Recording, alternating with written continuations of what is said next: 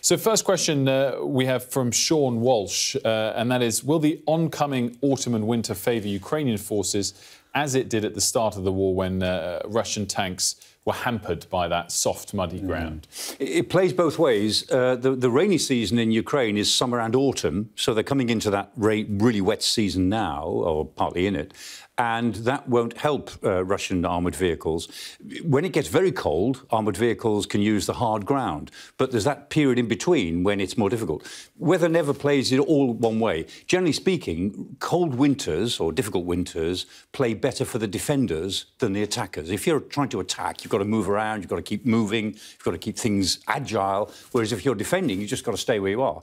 So uh, cold winters, difficult winters are miserable for everybody, but they're more miserable for the attackers than the defenders. Are, are the Russians now the defenders? They are. Um, in, they're, they're, not moving uh, in the Donbass. They look as if they're digging in in the Donbass for the winter, and they are now defending in Kherson in the south, and the Ukrainians are attacking. So the Ukrainians will want to get their attack over. They want, to, they want a success before the rain gets too wet, before the ground gets wet, and before the cold weather starts in November, December. And for that reason, they're on a bit of a timetable now. They've got to prove to the West and themselves that they can attack successfully, more than village by village, a wide area attack to put the Russians on the back foot. And is it fair to say that the last month has been a little bit of a stalemate? And has the weather got anything to do with that? It's sort of too favourable, the weather almost? Yeah, I, I wouldn't say it's a People say stalemate. I mean, not many arrows on the map have appeared, but there's quite a lot going on. And so, yeah, the weather's got something to do with it. I think the, the Russians have decided that they can't mount any more big offensives before the winter, which means in the spring. And they now look as if they're, they're taking a breath for probably a big offensive in the spring. The Ukrainians are using this window in the weather before it starts to get cold and very difficult, uh, I think, to gain what they can in the southwest. Jackie asks, um, as it's six months since Russia invaded and uh, clearly not going Putin's way so far, how likely is it that uh, he could resort to a nuclear attack? Yeah, I mean, this always comes up, and it's a, it's a fair question. Um, the, the, point is that a nuclear attack, even a tactical nuclear weapon, which you know would cover so two or three kilometres with real destruction, can only be used against concentrated troops. And the Ukrainians are not concentrated; they they are they're fairly dispersed. It's only troop uh, concentrations that offer a valuable target, even for very small nuclear weapons. And of course, bigger nuclear weapons, to use a nuke uh, against you know, a city like Sumy or Chernihiv as a, as a punishment to the Ukrainians, would put Putin so completely on the wrong side of history that even the Chinese, I think, would, would, would drop him if that were the case. So I think we're, we are a long way from the use of nuclear weapons. But I have, I mean, just today, a former British ambassador has said um, on Twitter. He said, look, if all else fails for Russia and if Putin is faced with a really awful defeat, you cannot rule it out. And I take his, his line seriously. And, and, are there any other weapons that they have in their arsenal that are somewhere in between what they've used so far and the, the, the sort of targeted nuclear yeah. weapon that they could still bring out? Yes, I mean hypersonic weapons, the uh, MOABs they're called, the, the, uh, uh, um, the Americans call them mother of all bombs, a massive ordna uh, ordnance airburst. So they've got big weapons that do as much damage as a small nuclear weapon. And we've seen some of those, these sort of earthquake bombs, they could be used. And those are, are thermobaric bombs, which create massive overpressure. They're very, very destructive. Again, they can only usefully be used against concentration of forces. We may see that, we may see it, um, but not this year we might see it if the Russians come, come under real pressure to losing real territory that matters to them, maybe after Christmas. Uh, in terms of uh, other questions, Elizabeth asks, are there any truth to the rumours about Putin's health? That was a big rumour a few months ago. It's yeah. kind of gone away. Yes, I, I, he's said to have panc pancreatic cancer and all sorts of things. He moves around with doctors. He, he, he, doesn't spend very long without going to consult his doctors. But personally, I think he's just a hypochondriac. Um, and he's been rumoured for many years to hit the Botox very hard indeed. So my, my theory is always that he'll die of Botox. Uh, but th there's no real evidence that this man is ill. And even if he were, and people think, well, if he's ill, he's on a timetable to do something before he dies. I don't think it's like that. He's on a timetable before this whole thing falls apart on him. And for that, he's maybe got a year or 18 months before this war that he cannot win at the moment actually turns uh, in on itself within the Kremlin. So he's on a timetable anyway, health or no. Um, Ahmed asks uh, if you see Belarus joining the war at any point. No. Uh, Lukashenko, the president of Belarus, has been very, very careful. He's, he's allowed Belarus territory to be used, but he's, he himself is under real pressure domestically. I mean, the war is not popular in Belarus, and he's got a lot of opposition against him, which nearly deposed him just over a year ago. And he's, he's kept out of it, as have many of the uh, Russia's allies. I mean, you look at the, um, the um, uh, Central Treaty Security Organization, which includes Kazakhstan and Armenia and Tajikistan. None of them, none of them have actually helped the Russians out. And in Kazakhstan's case, uh, President Tokayev of Kazakhstan, I mean, Putin saved his bacon last year when there were internal um, uh, riots, and Putin sent in the paratroopers to suppress them. So Tokayev owes him. But even they have not actually joined in. I think Putin must be spitting blood and feathers about the failure of his allies to actually send troops. So Lukashenko, no.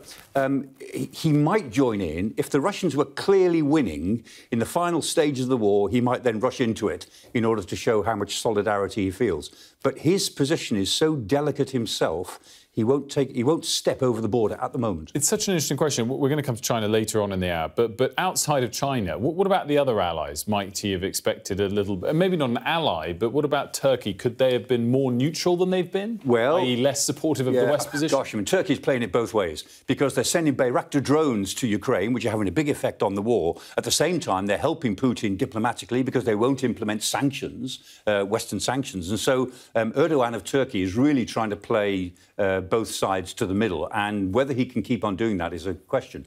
The um, other Russian backers are the basket cases. So he's got backing from Syria, he's got backing from some African leaders where the Russians are involved. He's got a little bit of backing in North Africa from Haftar in, um, in a breakaway group mm -hmm. in Libya uh, who's sitting in Benghazi. I mean, basically, they, have they've, they've got the, some of the dregs of the Middle East and Africa in terms of mercenary forces who are being paid quite handsomely by, handsomely by the Russians to join the Wagner group and go to Ukraine. They are vicious. They are not without use, but they can't fit into a general combined arms effort. So, mm. you know, they can massacre people and they can take ground that's already been pounded by artillery, but they're not a, a lo whole lot of use otherwise. Let's uh, switch focus and talk about one of Ukraine's biggest allies and supporters, and that is Boris Johnson. How, how significant?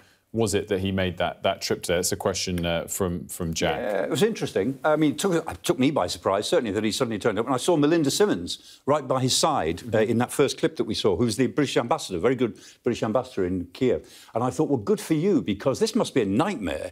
Getting a prime minister into Kiev on a day when the missiles might have been raining down, that must have been a security problem of high importance. But they, they did it, and it was, a, it was a sort of diplomatic coup, which will probably annoy a lot of other European leaders. But the message he was taking was that, you know, we are prepared to take, you know, some degree of personal risk to come and support you. And I'm sure the message was that whatever happens in terms of, you know, whichever leader becomes uh, prime minister, whichever the Tory leaders becomes prime minister in a couple of weeks' time, they will be no less committed than I am. I'm sure that was the message today. And in terms uh, of the continuity aspect of this, is it important that the MOD is still led by the same person in Ben Wallace, as it appears might be the case whoever yeah. wins, or, or, does that not really make a difference as long as the general gist from the top is is still strong? Well, the, yeah, I think the gist from the top will be consistent. I mean, I, th I think Ben Wallace probably, my, my, guess is he will remain Minister of Defence, and I think he wants to. The whole of that MOD team, you know, they when everyone else was leaving the government, the MOD team just kept their heads down and carried on doing their mm -hmm. job. When, when the government was collapsing everywhere, they didn't. And I think they take some pride in that because they think, look, we've got a more important job to do than worry too much about domestic politics. And the MOD is absolutely committed to training. I mean, there's this sort of quarterly, every 100 or 120 days, they're getting more people through. And so they are committed to that. They're committed to more training weapons. Ukrainian training forces. Ukrainian forces. Yeah. Um, the, the issue is how much more can we give um, that they need um, because we've run down most of our own stocks. And this Ukrainian war is teaching us, uh, if, we, if, if we needed to be taught, that we could lose most of the British Army in an afternoon um, if we were fighting at this level of intensity, simply because of the lack of backup and sustainability. We're on very, very thin margins. And so, you know, we've given so much of our anti-tank stuff away. Um, we can't give too many of our vehicles away because we've barely got enough for ourselves. We have got to gear up like a lot of Western countries, to rearm a bit in order to give material to Ukraine and make ourselves a bit safer. And that message is out there loud and clear, but no politician has yet picked it up. It's amazing to hear you, you frame the scale of that. In fact, Alan also asked, will the MOD be ramping up military recruitment in the face of an aggressive Russian state, which I guess is in terms of personnel, um, yeah. but, but we need to replenish our supplies in general. We do. And the, the numbers um, are at a, a, historic low. I mean, the army was 82,000. It's, be, it's due to go down to 72,500 in the integrated review which is a is whatever whatever is the right number for the army. It's not seventy two thousand five hundred. That it can either be lower than that or a good deal higher than that, mm. depending on what you want what you want the army to do. And the army itself has made it very clear, and Ben Wallace has made it clear that the the forces are too small. That they need to be expanded, but he's getting no traction at the moment. Not much from Downing Street, even with Boris in charge, and he's not getting any traction yet with Liz Truss or Rishi Sunak. And we'll see whoever becomes prime minister how that goes. But nobody in the defence business, I mean, the analytical community that I'm a part of, none of us think that British defence at the moment is adequate to the not only to the tasks it sets itself, but to the tasks it will be called upon in the next five years, partly because of the Ukraine war. Wow, uh, a sobering thought, Michael. Thank you so much for that. That's just the the first uh, segment of our special hour Q and A. We're just getting started here. We'll be back after the break and specifically talking uh, about current ongoing situations like the uh, nuclear power plant, like Crimea. Don't go anywhere. We'll be back on Sky News tonight in a couple of minutes.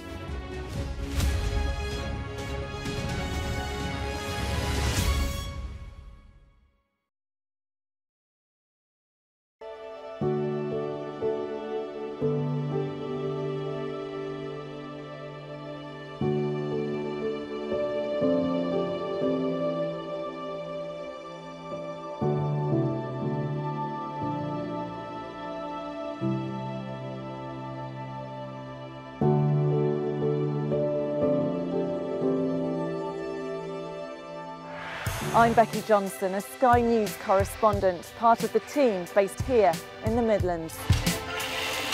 Allegations of exploitation in Leicester's clothing factories aren't new. In fact, it's been an open secret in this city for years. Made for people who want clarity in an uncertain world.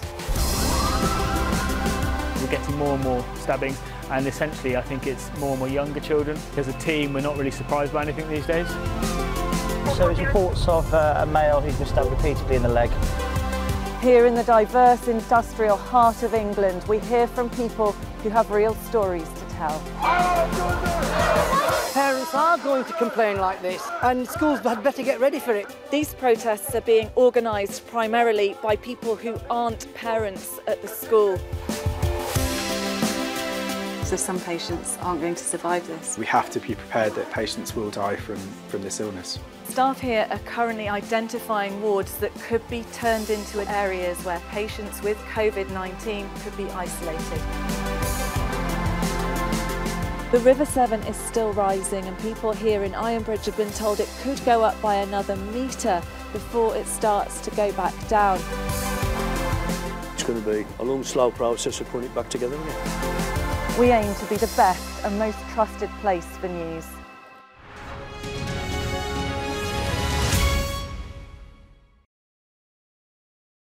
I'm Yvan Bourgnon, I'm a sailor. I spent uh, half time of my life on, on, the, on the sea.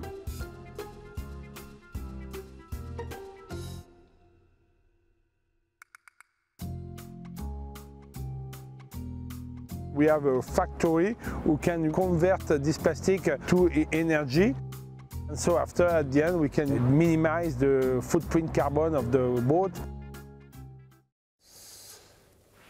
Welcome back. Uh, this is a special Sky News Tonight Q&A on six months of war in Ukraine. Uh, with us uh, still is our defence analyst uh, Michael Clarke, who's answering your questions. Uh, in this uh, segment of the show, we're going to focusing on some more local ongoing situations. and let's start with this power plant in, in Zaporizhia, the nuclear power plant. Realistically, what, what is the solution here that is possible that, that people might agree to?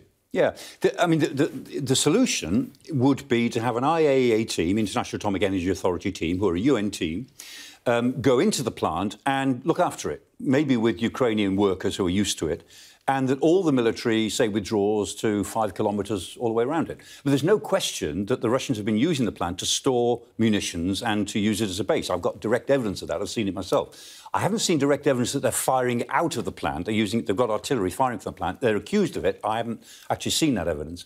But the Russians are certainly using the plant as a kind of safe haven. So uh, the, the answer would be for them to agree, and the Ukrainians to agree, which I'm sure they would, to a sort of a five, five kilometre exclusion zone and let the international community be responsible for keeping the plant going. That would be the answer.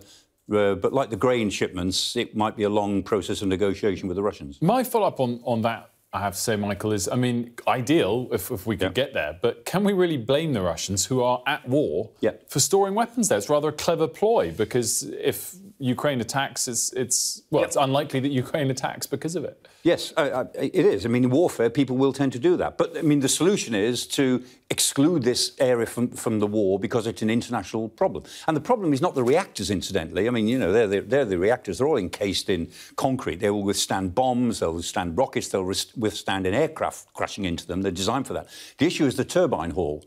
The issue is the coolant system, and that's far less secure in all nuclear plants. And so, if the coolant is actually turned off or, or interfered with, then the reactors will go critical. That's what happened at Fukushima. It's what happened in a different way at um, uh, early on in Chernobyl. Um, so it's it's the main problem is not the reactors. It's the way the reactors are maintained that's the the problem. Realistically, Russia unlikely to agree to anything like that? Or... No, yeah, I, I, don't think they will. I mean, I, I, think they'll just keep playing this issue along and mm -hmm. saying that uh, they're not using it for any nefarious purposes. They're doing their best to keep it going, and the Ukrainians should stop attacking it. Um, let's move on to, to Crimea and, and how important, Condor asks this, uh, how important is Crimea to both the Russians and the, the Ukrainians?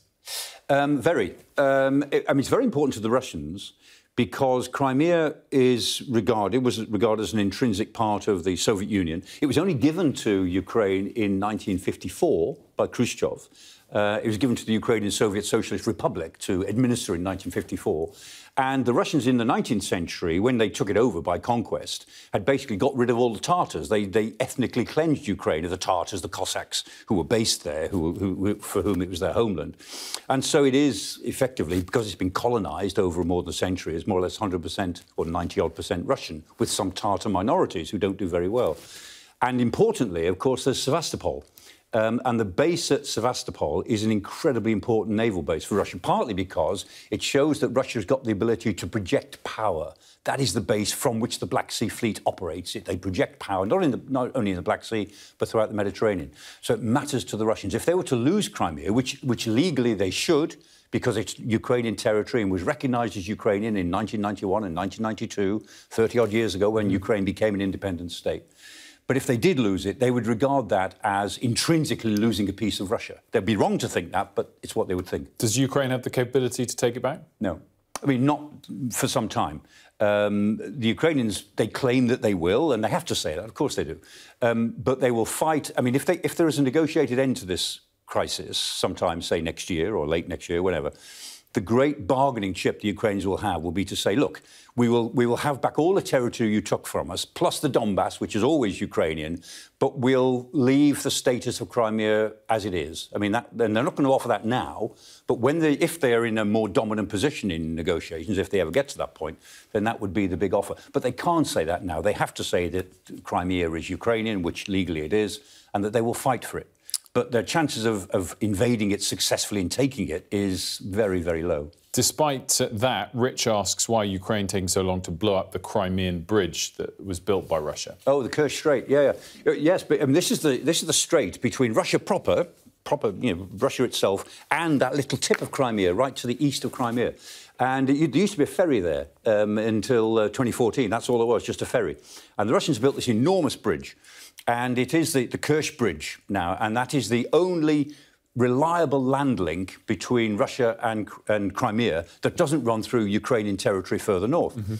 um, the Ukrainians would, I think, they're, they're, not sure they want to target it. Actually, because it would be a targeted, it would be targeting something that leads into Russia, and I think the Russians would take that very badly. But also, the Russians are defending it ferociously. They've got lots of air defence there, and they've got, they've got there this enormous ship, which they claim is a cruise ship, which just happens to sit there. And this cruise ship has got about eight enormous dishes on the top, enormous radar dishes. And this is a, a, a reflective radar ship, which is there to actually um, confuse any incoming missiles. And this ship has been sitting there for weeks, and the Russians can say it's a cruise ship. Well, they must have some fabulous TV on that cruise ship because it's nothing but, but radar dishes on the top. Well, they've probably got Sky. They must have Sky TV. They're tuning in to, to us right now. Um, or perhaps Sky Atlantic watching Game of Thrones. But uh, either way, let's, let's move on. So what's the likelihood that, that Russia will, uh, if they take Odessa, well, A, take Odessa, and B, move on to Moldova potentially uh, after that? That's a question from, from. Yeah, they can't do that um, for a long time to come. They've tried. That's what they wanted to do. But, I mean, they didn't take Mykolaiv, and they've been pushed back from Mykolaiv. And is 85 uh, miles away from Odessa, and Odessa's 30 miles away from the Moldovan border. So that they're more than 100 miles away from the border with Moldova. And they're going backwards in that region, not forwards.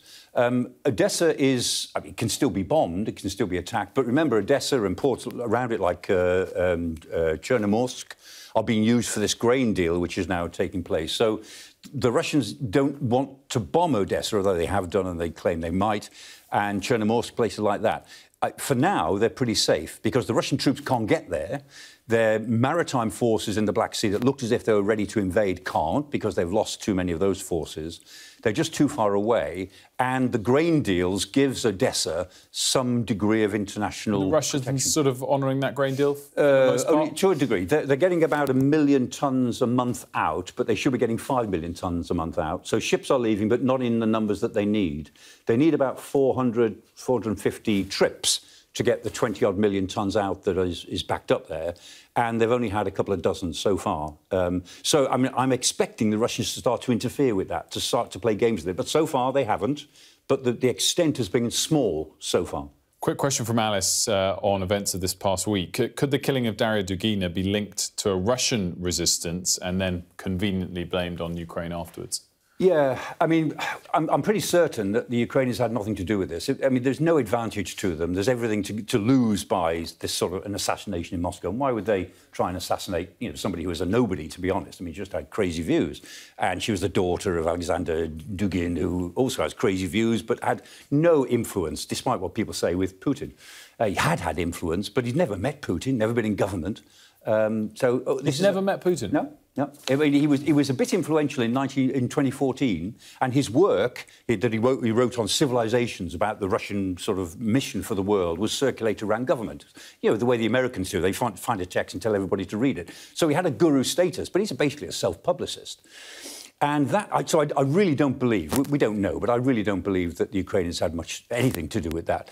Um, the um, uh, Ilya Pomerenkov, uh, who said, I think the day before yesterday, he said, oh, it's the um, uh, National Republican Army. Nobody had ever heard of them before. But this NRA, he said, are responsible for bombing some of the recruitment offices in Russia, and they're, they're responsible for some violent um, acts in Russia against the war. Well, maybe, maybe. But it's just as likely to have been a sort of a, a mafia hit or something like that. Or it might be a false flag attack. Uh, in the sense that this is because, if, I mean, last night I was looking at some of the translated versions on Rossiya 1, the, uh, the, the Russian mainline mm-hmm. news channel. And they were saying, I mean, all these characters stand around every night, and they said all this has been created by Ukraine, Estonia, and Britain. And they, they, they, they blame Britain in particular. And they say it's British intelligence is behind this. And British intelligence is trying to destabilise Europe. And Bellingcat, the, the investigative journalist group, they're, they're behind it as well. And the Daily Mail, they mentioned the Daily Mail. Um, they said all these things are written in the Daily Mail. They pay us the compliment, but in a strange way of believing that we're behind everything. Um, and so there's, there's, a real sort of anti-Britishness mm-hmm. every night, more or less, that I have a look at it uh, on Rossiya One and uh, NTV TV, some of their mainline channels, which are all state-sponsored channels. They're all mouthpieces of the Kremlin. Um, but I mean, the, the Dugin issue, I think, will run, and it may well be that it's certainly being whipped up in Russia mm-hmm. as justification for mobilisation. And that mobilisation is against Ukraine, but against Ukraine's backers, particularly the British. Very interesting. Uh, as always, uh, Michael, thank you for that segment. Uh, much more still to come on the special Q&A. Uh, next segment, we'll be talking about how this war might possibly end and where it goes next. Don't go anywhere.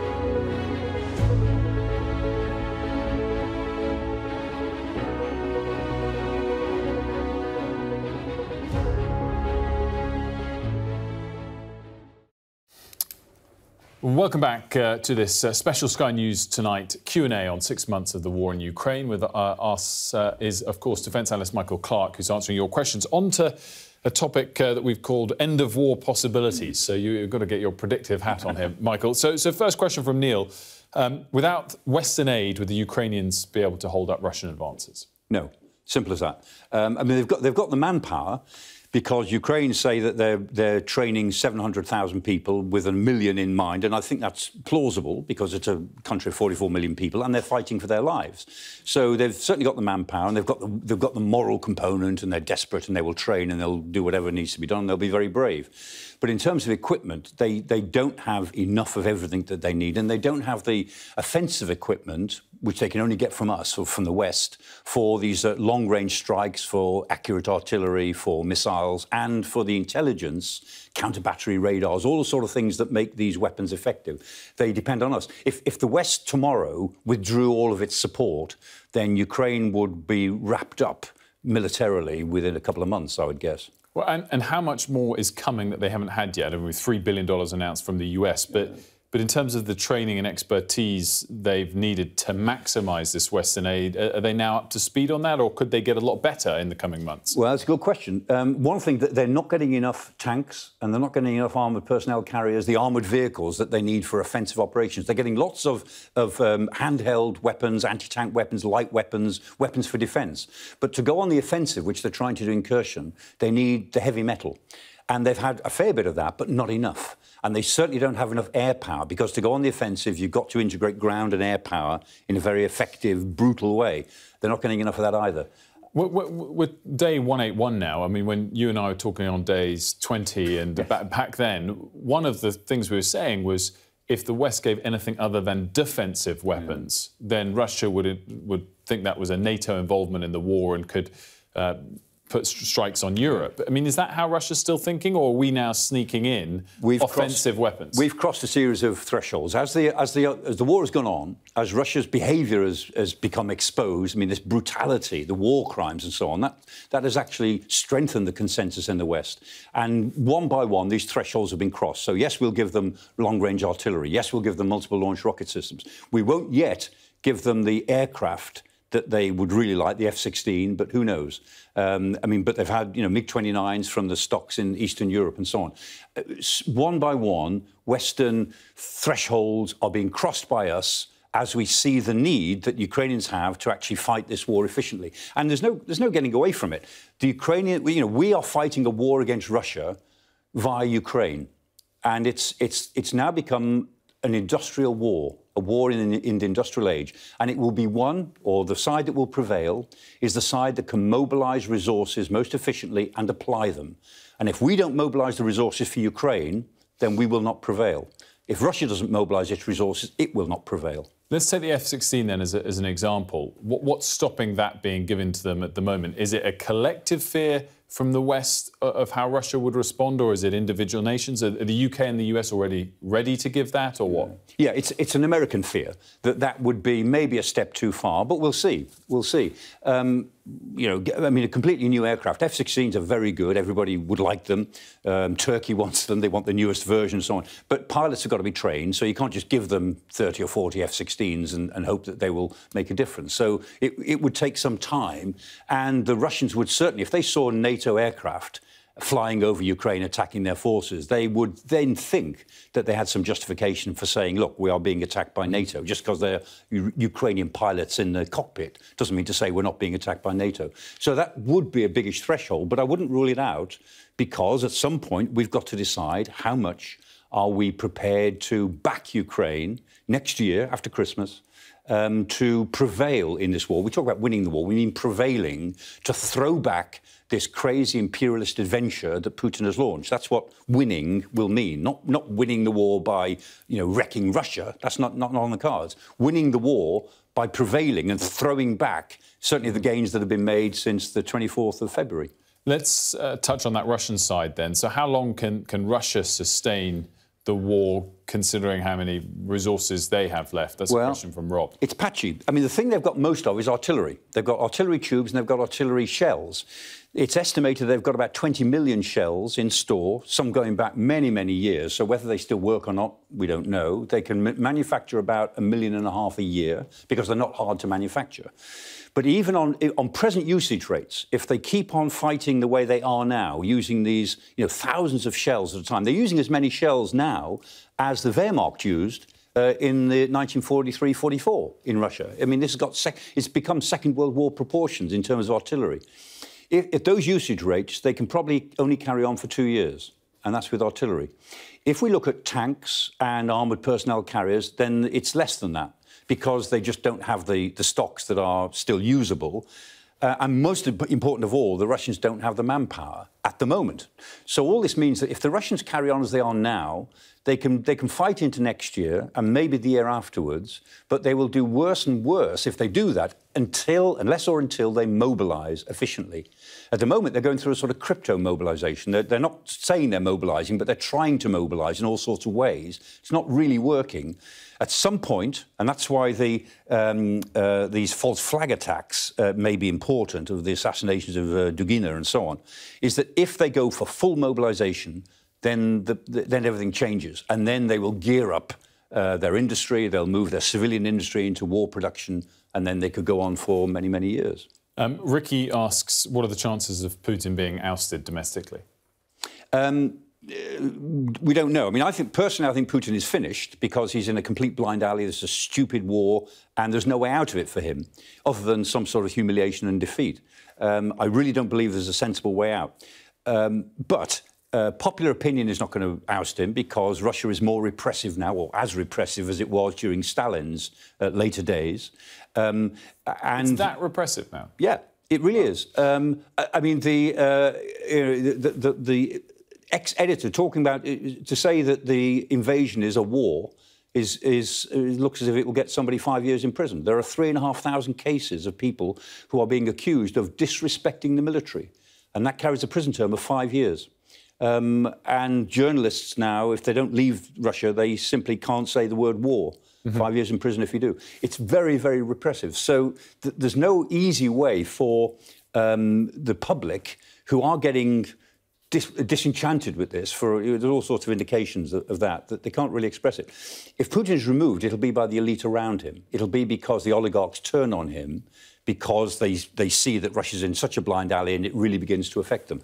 And so it could happen quickly. Or it could happen in two or three years' time. The longer it, it, it is before it happens, the more Russia will be either on its knees or severely disadvantaged by the economic mess that it's getting itself into. And, and if he was removed uh, any which way, who takes over? Could it be a worse outcome? Yes. It won't be a nice person. Um, I mean, it will be a man. It won't be a woman. Um, and Patrushev is often thought to be a successor who's more extreme, at least in his views, than Putin. Whether he's as competent or not, we don't know. Patrushev is his national security advisor. Um, it could be um, who's his uh, deputy chief of staff, who's also a tough guy.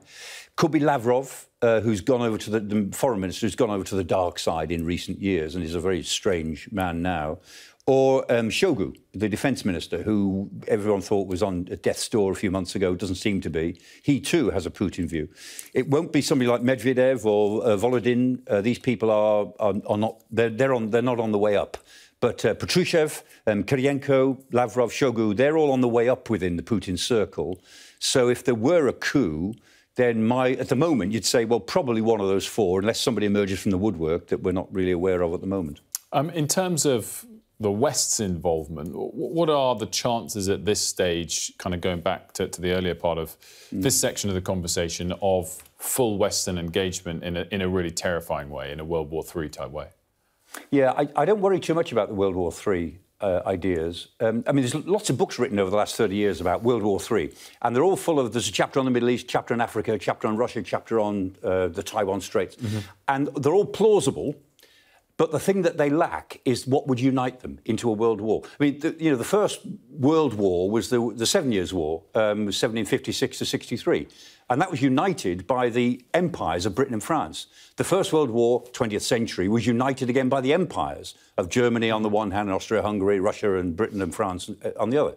The Second World War was united by ideology. It united a series of disparate conflicts that all seemed to become World War. That's not the case now. We can think of lots of conflicts over China and Taiwan, in the Middle East, in Central Asia, in, in Russia, um, in, in other parts, in Africa, East Africa, West Africa. There's nothing that unites them, and there's no countries that unite them all. And so the idea that this could, could as it were, escalate to World War III just is not plausible to me. But could it become more serious? Yes, it could. Um, could it become more geographically dispersed? Yes, it could. And it could become a war between NATO and Russia. We, I mean, we, are all trying to avoid that, and that is a red line which both sides have, uh, have uh, honoured at the moment. The Russians are very careful not to cross that red line, and we've been very careful not to cross it. But you can't say it would never be crossed. But so, so that part in, in, particular, which I think a lot of people here would, would, would maybe you've got the better definitions, but start calling it a world war at that yeah. point, or feel like that uh, if both sides got more fully involved. I mean, of what you've said in the last 10 minutes, yeah. One aspect might lead to that, which is Russia going into full war footing. Yeah. I mean, how likely is that? Yeah. Um, I don't know. I'd, I'd, say it's, it's less than 50 50 because going on to a full war footing would be very, very serious. And I'm sure Putin will try to do all he can to avoid that in the next year. But if he ends up in a year's time, with a situation that's worse than it is now for him, then you know you can't rule that out. And yes, what we're talking about would be not World War III, but a general European war. That's the way we tend mm -hmm. to mm-hmm. think of it: a general war in Europe. And um, I mean, I never thought I would live long enough to see that prospect as a realistic prospect, but now I fear I'm going to live long enough to see that. Well, we hope it doesn't develop in that way, but we hope you live long enough to potentially uh, experience those sorts of uh, possibilities that don't quite materialise. Michael, great stuff. Uh, we're going to take a quick break. More questions uh, and answers with Michael uh, to come just the other side of this break. Don't go nowhere.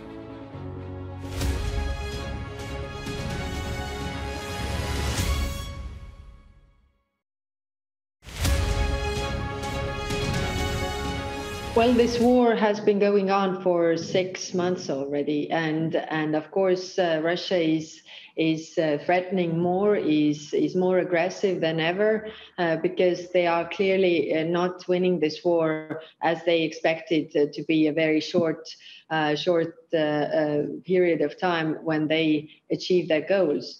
what is important here is that we keep on isolating Russia and we keep on uh, pushing them so that they would go back to its borders and, and withdraw the aggression. We have to support Ukraine uh, every way we can uh, so that they can win this war because if aggression pays off uh, somewhere, it uh, serves as an invitation to use it elsewhere. What has happened is that uh, uh, when uh, Russia attacked uh, Georgia, uh, Crimea, uh, Donbas, then nothing happened to them. I mean, they were not punished for the aggression. So the message they got was that this pays off because eventually they have more territories, and every time with every next step, they have been bolder. If you look at their um, their way of of operating, then they have been attacking civilian uh, uh, civilians.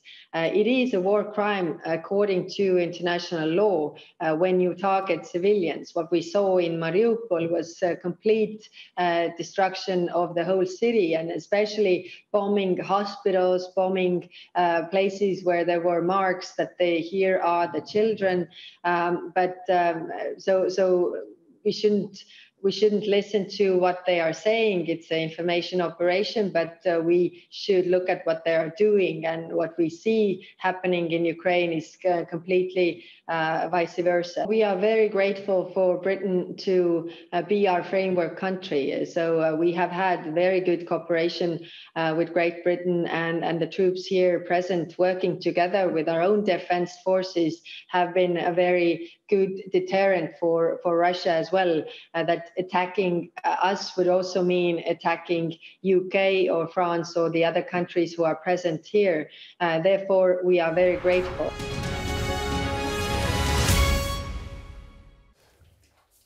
Welcome back as we continue our special question and answer programme on six months of the war in Ukraine. Our defence analyst Michael Clarke has been answering your questions throughout this uh, hour. And uh, before we take more of those questions, uh, do remember to scan the QR code on the screen uh, and hear stories from those on Europe's new front line uh, on Sky News' Ukraine War Diaries podcast. Do scan that QR code, subscribe to it, and uh, some of our other podcasts as well. All of them are available uh, for free wherever you get your podcasts from. Uh, we'll leave that QR code on the screen for you for just a, a little moment longer. Michael, back to the Q&A. Peter Jackson asks, what are the red lines for each side uh, in a negotiated peace deal? And, and is a negotiated peace deal likely?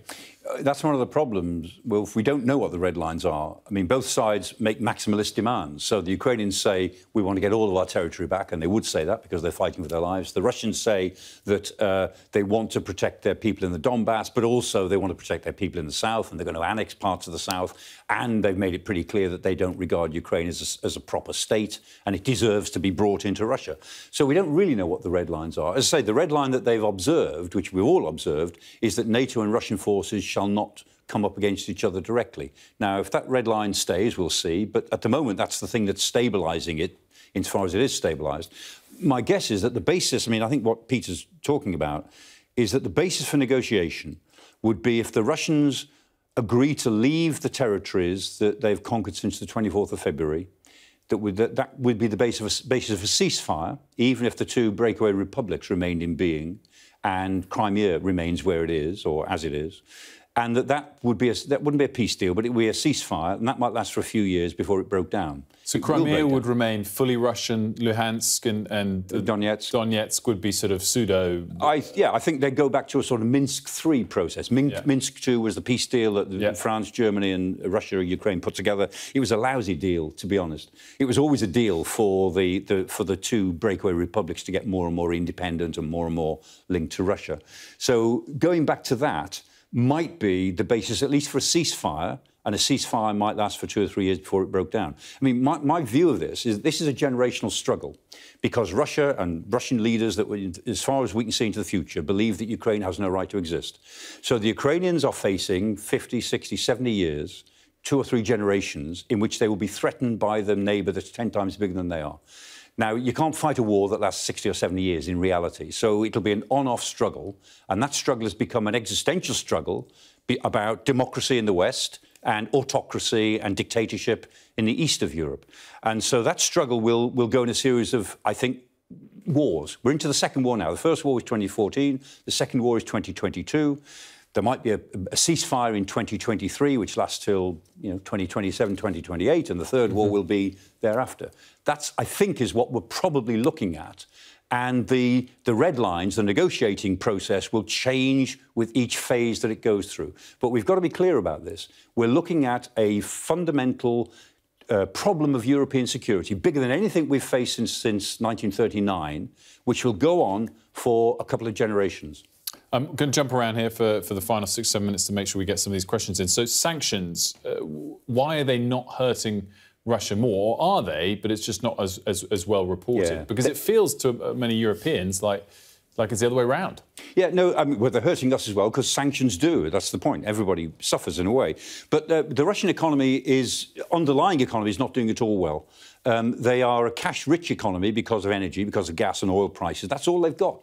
And if you look at other things, I mean, certain little indicators. So, you know, Western films, blockbuster movies are not available in Russia now. The cinemas can't show them, they don't have them. And so just Russian films are being shown. Mm -hmm. um, shop fronts are empty, or they're being replaced now by Russian shop fronts, which haven't got very much stuff. Um, the Russian economy, the underlying economy, is in pretty poor shape, but they've got plenty of cash because of energy. So, and that's the, that's the safety valve for Putin and the Russian elite.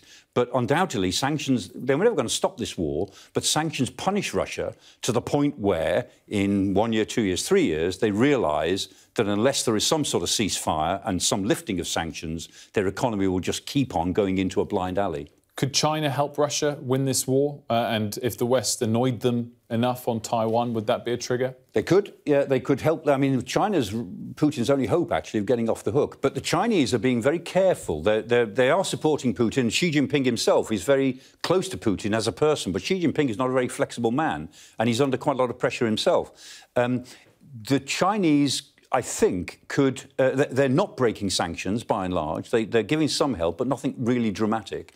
And they're very worried, the Chinese, about secondary sanctions, which Americans could put on them. Of secondary sanctions, that is, if you deal with a company that deals with Russia, then you can be subject to secondary sanctions. And remember, the world is going into a global recession, and China's suffering more, than, more from that than most other countries. We think we're in a state. Just look at China. They're, they are going into a, a fairly deep recession, and they've got this crazy zero COVID policy, which Xi Jinping runs, which is making everything worse. Mm-hmm. So the Chinese are now very careful not to trip over sanctions policy by helping the Russians out too much. Two more questions. Hopefully, we can squeeze in. This one's from Crazy, but it's a it's a great question, yep. despite uh, despite the name. Western intelligence. We, we get these updates oh, yeah. on Twitter uh, from from uh, the MOD. I mean, does that mean there's even more intelligence that they're not sharing? Oh, for sure. H- how do they decide what to release public? Has it already been shared a month earlier? The, yeah. the key stuff. When people talk about sharing intelligence, what you're getting is a conclusion no intelligence organisation shares real, raw intelligence, and they certainly don't ever share their sources, even with each other. I mean, the, the, number one rule of intelligence is protect your sources. And that means you protect British sources from the Americans, American sources are protected from the British. We don't share our sources. But when you've actually put the raw intelligence together and you have a conclusion, then you may choose, for political reasons, to share that conclusion. By and large, it's better not to do that, but in certain situations, it can be beneficial. But believe me, intelligence isn't being shared the, the, headlines are being shared, and you know the headline is like the tip of an iceberg. There's an awful lot of stuff underneath, which is very, very closely guarded. And very quickly, you said earlier that our overall forces are a bit depleted, and we need to fix that. What about our intelligence services? Oh, there with the best still, or not? Yeah, they're they're one of the jewels in our crown as far as security goes. With with the Americans, we have the best intelligence feeds in the world, bar none. And British intelligence is still the one area of British security policy that everybody takes seriously. Everybody wants to be a part of it. And the Five Eyes Club, this America, Canada, Britain, Australia, New Zealand, the five, the old Anglo-Saxon powers who share intelligence products, everybody wants to be in the Five Eyes. Everybody wants to join it, but nobody else can. Um, final question. You've got about 90 seconds to sum this up for Who, who's winning six months in? Neither side is winning, um, but neither side is losing either, and that's a fairly Delphic idea. But um, if the Ukrainians can see out the winter, and if we in the West can see out the winter, and it's going to be a tough winter for us in all sorts of ways, and keep the Ukrainians in the war, then next year, I believe that the pendulum will swing back towards Ukraine and Ukraine will put Russia under some pressure. Now, that's when it gets much more dangerous than it is now.